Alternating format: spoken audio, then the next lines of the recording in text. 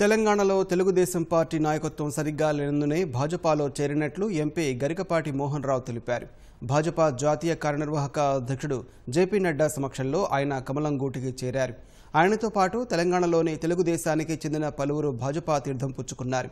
మాజీ మంత్రి జగన్ నాయక్ సామరంగారెడ్డి శోభారాణి ఈగ మల్లేశం తెదేపా ఎస్సీసెల్ అధ్యక్షుడు బోట్ల శ్రీనివాస్ తెదేపా జిల్లా నియోజకవర్గ అధ్యక్షులు భాజపాలో చేరారు. మోదీ నాయకత్వంలో తెలంగాణలో భాజపా జెండా ఎగురవేయాలని గరికపాటి కార్యకర్తలకు పిలుపునిచ్చారు. ముప్పై ఐదు సంవత్సరాలు నేను కూడా తెలుగుదేశం పార్టీ ఆవిర్భావం నుంచి పార్టీలో ఉండి ఈ రోజు పార్టీలో నుంచి వస్తా ఉంటే ఈ ఆడబిడ్డలు కానీ నా దగ్గరకు వచ్చి ఒకటి అడిగారు వీళ్ళు అన్న ఏంటి మా రాజకీయ భవిష్యత్తు? ఇక్కడ కొందరు సోదరులు ఉన్నారు ఏంటి మా రాజకీయ భవిష్యత్తు? మేము ఇదే పార్టీలో ఉంటే ఎట్లా?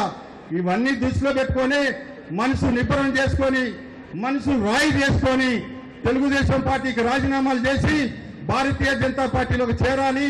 నరేంద్ర మోడీ గారి నాయకత్వంలో తెలంగాణ రాష్ట్రంలో మళ్ళా భారతీయ జనతా పార్టీ జెండా ఎగరవేసేటానికి మీరు నేను అందరం కలిసి కంకణం కట్టుకొని ముందుకు సాగుదామనే ప్రకటనతోనే మనసు చదువుకొని అంతే తప్ప వేరే పదవుల కోసం కానీ నేను ఈ రోజు భారతీయ జనతా పార్టీలకు రాలేదు అని చెప్తా ఉన్నాను.